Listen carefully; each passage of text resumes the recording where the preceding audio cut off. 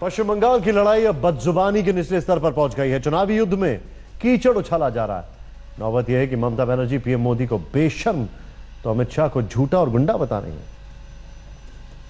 मोदी जो प्रधानमंत्री चुना गया है उसको बंगाल की मुख्यमंत्री अपना प्रधानमंत्री नहीं मानती। करो। আর তা নাহলে তোমায় কিন্তু আমরা জেলে টানবো তার কারণ আমরাও কিন্তু ছেড়ে কথা বলার লোক নই আমাদের কাছে এভিডেন্স আছে कोलकाता में लम में भी मेरी रैली है देखते हैं दीदी ये रैली होने देती है या नहीं मोदी को हटाओ मोदी को देश से निकाल दो इलेक्शन का थ्रू में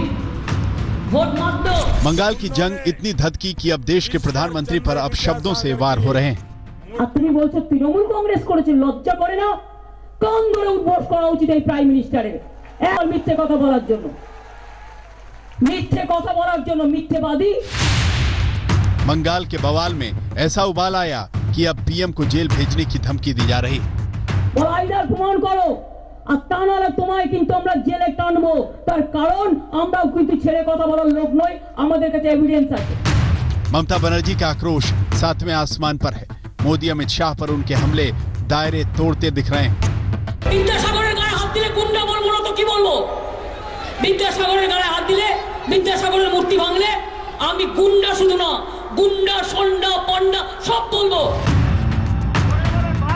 यह सब इसलिए हो रहा है क्योंकि बीजेपी को बंगाल में वर्चस्व चाहिए। सिर्फ़ इसलिए नहीं कि यूपी में नुकसान का खतरा है, बल्कि इसलिए भी क्योंकि बंगाल में जीत से बीजेपी, आरएसएस की विचारधारा के विस्तार का रास्ता साफ़ होगा।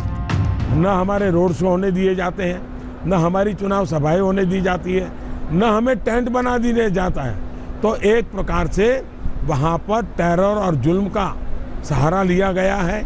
टीएमसी के गुंडे, पीछे सरकार का पूरा प्रशासन और ममता दीदी का मिजाज ये सब मिलकर के लोकतंत्र के लिए खतरा पैदा हुआ है। बीजेपी टीएमसी के बीच लड़ाई तो लगातार जारी रही लेकिन आखिरी दौर आते आते ये लड़ाई तमाम हदें पार कर रही है। अमित शाह के रोड शो में हिंसा के साथ ये जंग कई गुना तल्ख हो गई है। वो बौखलाई हुए जिस प्रकार का जन आक्रोश उनके खिलाफ ये सात आठ महीनों में उभर कर आया है उससे वो बौखलाई हुए सरकार के कामकाज पर हमला बोलते हैं। वो हमारे कार्यकर्ता पर हमला बोलती है। साठ कार्यकर्ता मार दिए। ये दोनों का कोई इक्वेशन है क्या? राजनीति में उनकी सरकार ढंग से नहीं चल रही तो हम विरोध नहीं करेंगे क्या? बंगाल में प्रचार का आखिरी दिन है। चुनाव आयोग ने 24 घंटे की कटौती कर दी है। लेकिन आखिरी दिन, आखिरी ज़ोर आजमाइश से साफ़ है कि ये लड़ाई थमेगी नहीं। आगे भी जारी रहेगी। आज तक ब्यूरो।